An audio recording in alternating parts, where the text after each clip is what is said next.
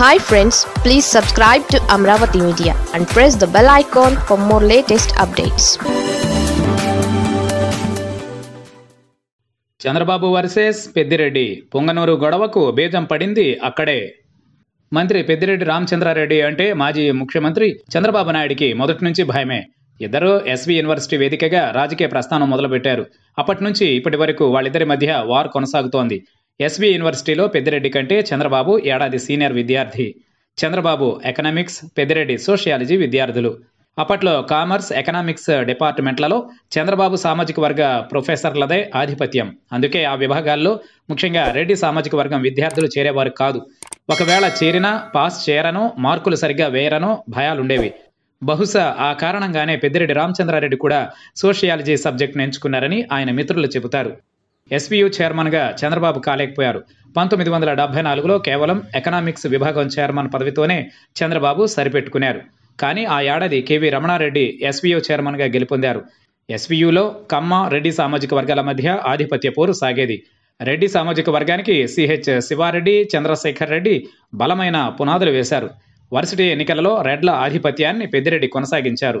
పంతొమ్మిది వందల డెబ్బై ఐదులో ఎస్వీఓ చైర్మన్గా పెద్దిరెడ్డి రామచంద్రారెడ్డి ఎన్నికయ్యారు. ఆ ఏడాది చంద్రబాబు ఎస్వీయూలో రీసెర్చ్ స్కాలర్గా జాయిన్ అయ్యారు. ఆ తర్వాత చంద్రగిరి నుంచి కాంగ్రెస్ ఐ తరఫున చంద్రబాబు తన సమీప ప్రత్యర్థి జనతా పార్టీ అభ్యర్థి కె. పట్టాభిరామ చౌదరిపై గెలుపొందారు. ఇదే ఎన్నికలలో పెద్దిరెడ్డి రామచంద్రారెడ్డి పీలేరులో జనతా పార్టీ తరఫున బరిలో నిలిచి కాంగ్రెస్ ఐ అభ్యర్థి సైఫుల్లా బేగ్ చేతిలో ఓడిపారు చంద్రబాబుకు మొదట్లో రాజకీయ గురువు మాజీ మంత్రి గల్లా అరుణకుమారి తండ్రి రాజగోపాల్ నాయుడు పెద్దిరెడ్డికి మాజీ రాష్ట్రపతి దివంగత నీలం సంజీవరెడ్డి అప్పట్లో ఎమర్జెన్సీ తరువాత జరిగిన ఎన్నికలలో నంద్యాల నుంచి నీలం సంజీవరెడ్డి జనతా పార్టీ తరఫున పోటీ చేశారు. ఈ ఎన్నికలలో నీలం సంజీవరెడ్డి తరఫున పెద్దిరెడ్డి నేతృత్వంలోని ఎస్వీ విద్యార్థులు చురుగ్గా పనిచేశారు. దక్షిణాదిలో గెలిచిన ఏకైక ఎంపీగా నీలం రికార్డుకెక్కారు తన కోసం విద్యార్థి నాయకుడిగా పనిచేసిన పెద్దిరెడ్డిపై నీలం సంజీవరెడ్డికి ప్రత్యేక అభిమానం ఉండేది. అందుకే విద్యార్థిగా ఉండగానే పెద్దిరెడ్డికి జనతా పార్టీ టికెట్ను నీలం సంజీవరెడ్డి ఇప్పించారనే ప్రచారం ఉంది. చంద్రబాబు నాయుడులో లౌక్ష్యం ఎక్కువే. రాజకీయాలకు తగ్గట్టు నటనలో ఆయనదో ప్రత్యేక శైలి. కానీ పెద్దిరెడ్డి రామచంద్రారెడ్డి ఎమోషనల్ పర్సనల్. నమ్మిన వారి కోసం ఎందాకైనా అంటారు. తేడా వస్తే అంతు చూసే వరకు వదిలిపెట్టరు. పెద్దిరెడ్డి రామచంద్రారెడ్డికి సోదరుడు భాస్కర్ రెడ్డి రాజకీయంగా బలమైన అండ. ఆ తర్వాతి కాలంలో అతను భౌతికంగా దూరం కావడం పెద్దిరెడ్డికి పెద్ద లోటే. చదువుకునే రోజుల్లో పెద్దిరెడ్డి చంద్రబాబు మధ్య ఏర్పడిన రాజకీయ వైరం ఇప్పటికీ సాగుతోంది. తాజాగా పొంగనూరులో చంద్రబాబును అడుగుపెట్టకుండా పెద్దిరెడ్డి అడ్డుకోవడం తీవ్ర చర్చనీయాంశమైంది.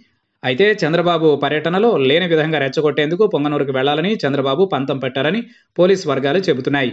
అయితే పెద్దిరెడ్డి అంటే తండ్రి తనయులు చంద్రబాబు లోకేష్లకు భయమని చెప్పేందుకు ఉదాహరణలున్నాయి. లోకేష్ పాదయాత్ర కూడా పొంగనూరులో సాగకపోవడాన్ని పలువురు గుర్తు చేస్తున్నారు. పొంగనూరు పక్కన తప్పించుకు తిరిగినట్లు లోకేష్ వెళ్ళిపోయారు. ఆ తర్వాత పక్క నియోజకవర్గాలలో లోకేష్ మాట్లాడుతూ పెద్దిరెడ్డి అంతం చూస్తామని హెచ్చరించారు. ఇప్పుడు చంద్రబాబు కూడా అంతే. చిత్తూరుకు వెళుతూ మార్గ మధ్యంలో పొంగనూరు బైపాస్ను టచ్ చేస్తారని మాత్రమే చంద్రబాబు షెడ్యూల్లో ఉంది. నిజంగా పొంగనూరు వెళ్ళగలిగే ధైర్యమే చంద్రబాబులో ఉంటే షెడ్యూల్లోనే పెట్టి ఉండేవారు. ముఖ్యమంత్రి వైఎస్ జగన్ అడ్డా పులివెందులకు వెళ్ళగలిగినప్పుడు పొంగనూరు ఏం పాపం చేసిందని ప్రశ్న ఉత్పన్నమవుతోంది. ఏ పెద్దిరెడ్డి ఖబర్దార్ లాంటి హెచ్చరికలు ఇప్పటికీ చంద్రబాబు బోలెడు చేశారు. చంద్రబాబు వార్నింగ్లకే పరిమితమైతే పెద్దిరెడ్డి మాత్రమే యాక్షన్కు దిగుతున్నారు. పెద్దిరెడ్డి పెద్దగా మాట్లాడరు. ఉపన్యాసాలంటే ఆయనకు విసుగు. ఆయన చేతల మనిషి. పెద్దిరెడ్డి చర్యలను సమర్థించాల్సిన పని లేదు. కానీ ఆయన వ్యవహార శైలి గురించి తప్పక చర్చించుకోవాలి. పెద్దిరెడ్డి చంద్రబాబు ఇద్దరూ చిత్తూరు జిల్లా నాయకులే. ఒకరి గురించి మరొకరికి బాగా తెలుసు. చంద్రబాబు వార్నింగ్లతో భయపెట్టాలని చూస్తారు. పెద్దిరెడ్డి ముందు ఆ పప్పులేవి ఉడకకపోగా మరింతగా రెచ్చిపోతున్నారు. ఇదే చంద్రబాబుకు అసలు నచ్చడం లేదు. ఇప్పుడు ఏకంగా కుప్పంపై పెద్దిరెడ్డి దృష్టి సారించడం చంద్రబాబు జీర్ణించుకోలేకపోతున్నారు.